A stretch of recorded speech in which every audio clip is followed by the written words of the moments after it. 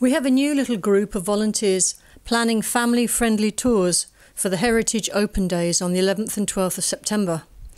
In depth research has taken place about how Bishop Hurd entertained the King for breakfast. James, we need to talk about numbers, how many people we can get on the tour.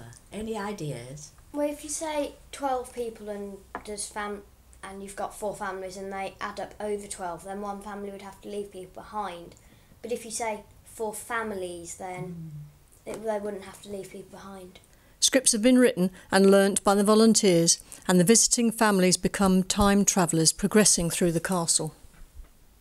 graphic detail, I Mm. think. More uh, descriptions, just things like brutally burned. So Chief Clerk says, I shall have to ask the bishop. He doesn't like traps. Thank you, bailiff. Will you stay with us? And the bla- bailiff says, a pleasure.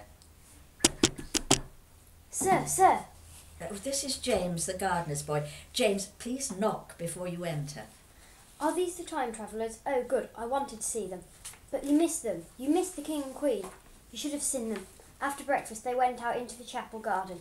Didn't you hear the crowds? They were cheering and singing God Save the Queen. God Save the King. and the King was bowing and they were all waving. Somebody said there were 8,000 people. They were up on the banks looking down at the King. There were even men on horses and women holding up babies. It was the greatest thing I've ever seen. I could turn the chief clerk into the housekeeper and I'll do it. Oh yes, Because I'm, I know it's terribly difficult getting men. I know. Who have we got? Yes, so, Lynn, who have we got? Have we got any men?